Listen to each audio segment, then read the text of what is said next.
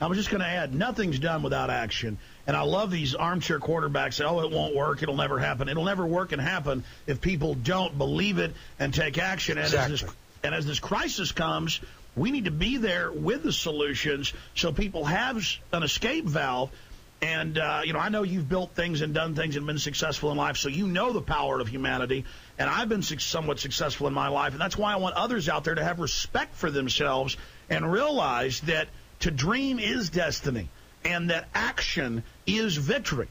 And so that, I mean, even if you just move out in the country with your friends and family somewhere else, the point is get off the grid, get self sufficient, join together because true wealth is your friends, your family, your neighbors, your community, and the willingness to stand together and to fight because we're going into great time of tribulation. We're going to come back to the full audience, uh, Russell, and I want to ask you one more question about Obama to a message to the suckers out there because it's so painful to see them being suckered and to see them falling to this deception.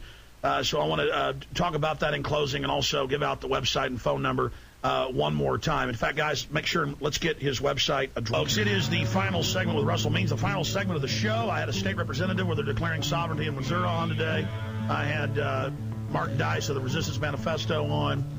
Uh, and of course, we have Russell Means, uh, just an amazing activist for liberty and freedom. It's been mischaracterized in the press quite a bit, but uh, that tells you he's a good guy. You look at what he actually stands for. I I know that uh, he's a guy after my own heart, and we really uh, appreciate him. I want to get him on about eugenics and the overall New World Order and what it's like to come from a group that's been so intensely targeted by this. But in closing, um, a message to the Obama people who, who who took their hatred of Bush that was legitimate and transmuted it into love for Obama, not knowing it's the same manager crew behind it.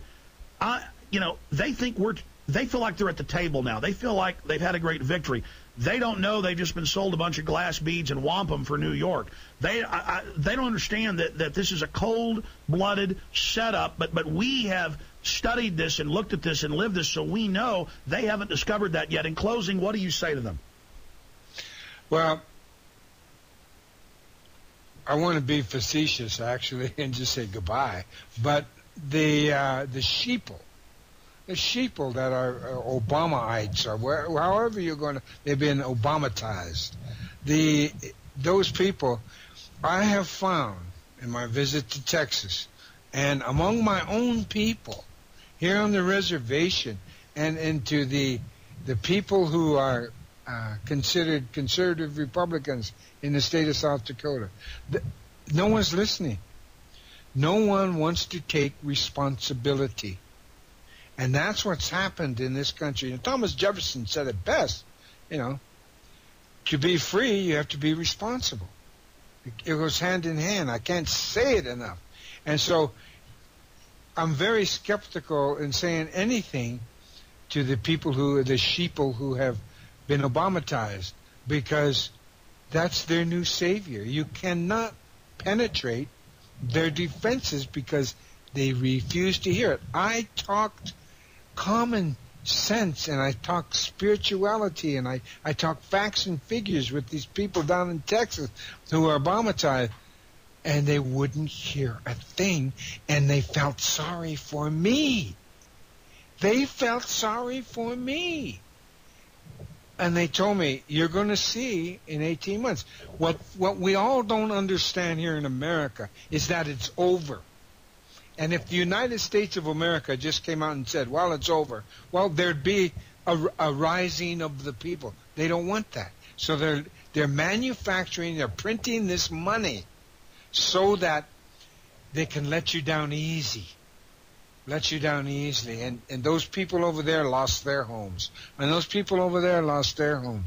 And as they let you down easy and your, and your wages go down and your livelihood goes down and your, your trips become shorter and you don't buy as much until the fact is you're going to look around one day.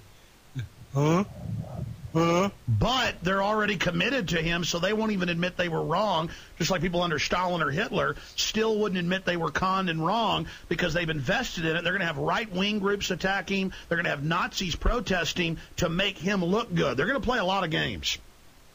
Oh, definitely. They are masters at manipulation. It's an Orwellian reality. And so, but always remember this, and this has always rung true. It only takes 2% of a people to foment a successful revolution. And we want a revolution to return one revolution back to freedom of the individual.